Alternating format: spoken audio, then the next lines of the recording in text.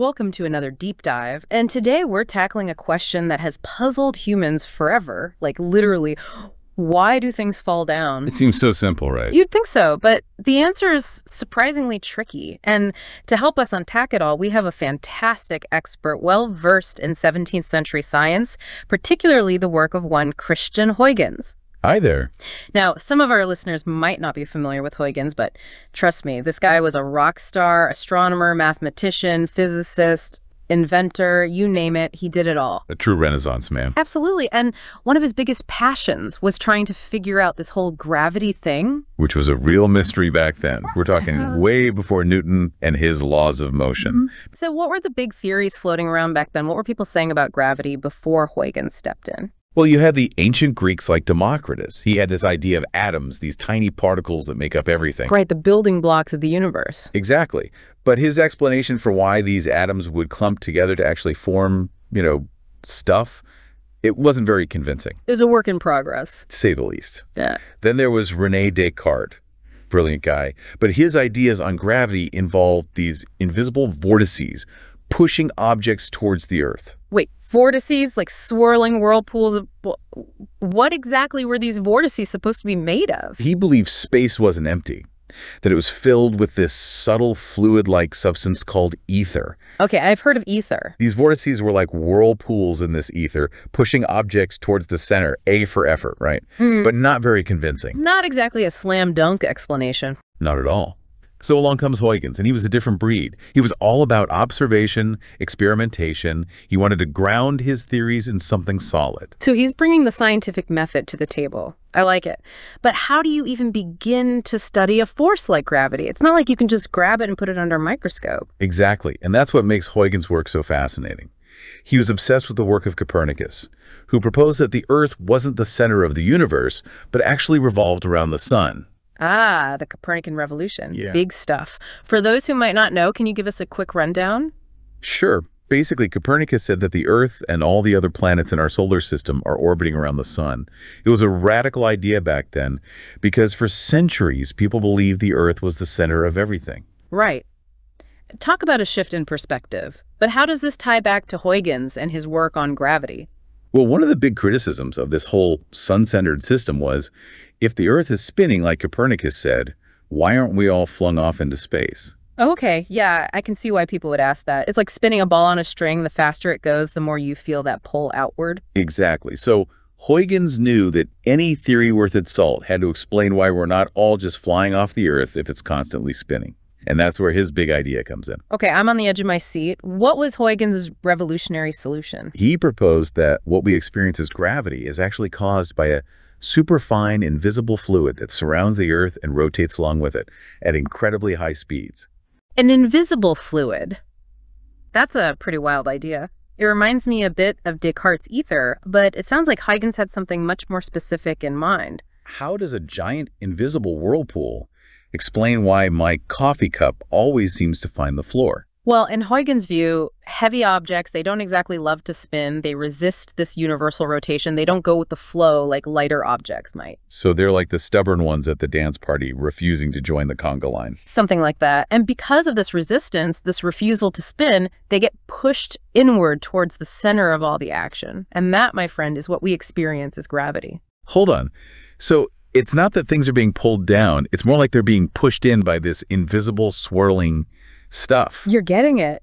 And to help visualize this, Huygens actually did this fascinating experiment with, of all things, a bucket of water. Wait, a bucket of water. Seriously, we're going from cosmic whirlpools to buckets now. Trust me on this one. Picture a bucket spinning really fast, and inside there's a lump of Spanish wax. Okay, I'm picturing it. Is the wax just chilling at the bottom or what? Well, it's denser than water, right? So as the bucket spins, the wax actually gets flung to the edges. But here's the kicker. The moment you stop that bucket, The wax just stops moving too. nope, it rushes right to the center. Okay, now that's just weird. But how does that explain gravity again? That was Huygens' genius. He saw the bucket as a mini version of Earth. The spinning fluid matter, that's the force pushing everything inward, just like we see with the wax in the bucket. So the Earth's like this giant spinning bucket, and we're all just lumps of wax being pushed inward. Pretty much. But, you know, it gets even weirder. Weirder. How could it be any weirder than a cosmic whirlpool pushing us down? Well, if this invisible matter is everywhere, constantly pushing on everything, shouldn't we actually feel it? You know, now that you mention it, it's like, should we be getting constantly bombarded by these tiny particles? Wouldn't that be noticeable? He'd think so, right? Yeah. But Huygens, clever as he was, had an answer for that. He figured this fluid matter, this invisible stuff, it had to be way, way smaller than even air particles. So small and smooth it could pretty much pass through anything without us even noticing. Okay, I kind of get it. So it's like we're swimming in this sea of invisible stuff, but it's so fine it just slips right through us. Exactly. Think of it like air. We don't feel the individual molecules hitting us, do we? But we sure feel it when they all gang up on us as wind. Right. It's the collective force that matters. It's not the individual particles, but the overall push. But this whole thing still seems a bit off, doesn't it? How so? Well, we know things fall at different speeds. Like a feather falls slowly, but a bowling ball, Hmm. not so much. Eh. How did Huygens explain that if this invisible matter is pushing on everything equally? Another great question. And yeah, Huygens knew about that. He said it wasn't just the invisible matter doing all the work, it's also about the objects themselves and what they're falling through. What do you mean? Think about it. When a feather falls, it's bumping into all those air molecules, right? That Hmm. creates resistance, slows it down. But a bowling ball, it just powers through that air like it's nothing. Because it's heavier. Exactly. More inertia. So even though the invisible matter is pushing on both equally, the feather's getting slowed down more by the air.